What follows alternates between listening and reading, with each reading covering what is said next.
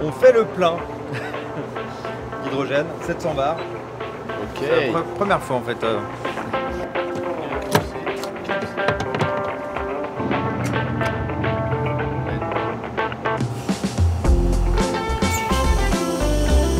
En gros, ça sent meilleur. On se salit pas les mains. On a mis exactement 2 minutes 52. C'est rapide quand même, hein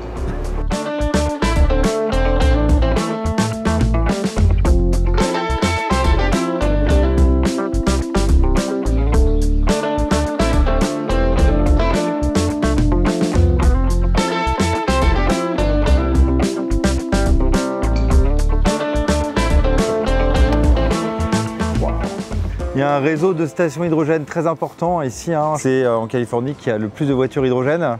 Donc on va aller voir un petit peu toute la mobilité qui existe ici, puis voir comment ils s'approvisionnent euh, pour faire le plein.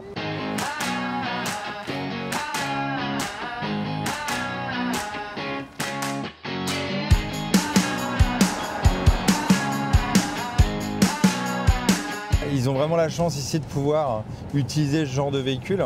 C'est compliqué pour l'instant en, Europe, notamment en France, qu'en Allemagne, ils ont un gros réseau de stations.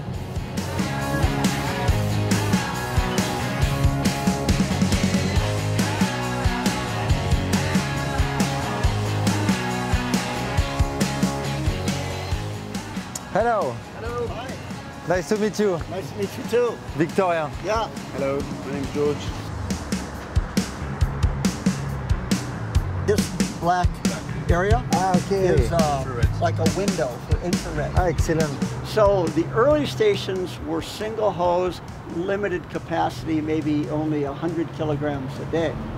This station can do 12 to 1500 kilograms capacity, and today it's delivering about a tenth of that. So it's just starting to take off, but it's overbuilt because now the cars are coming. And so you don't want to have to build it just to meet capacity in the first year. En fait, quand tu vois ce genre de station, c'est tout beau, tout propre, tout neuf, t'as envie que ça aille plus vite. Mais la, vérité, c'est que quand tu passes ta main, hop là, t'as ça encore dessus. Tu as encore du travail.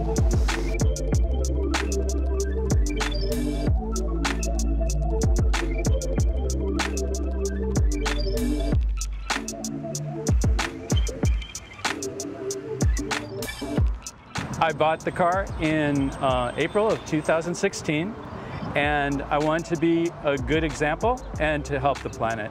Sometimes it's difficult to find fuel, but uh, I'm dedicated to making it work and driving the fuel cell car.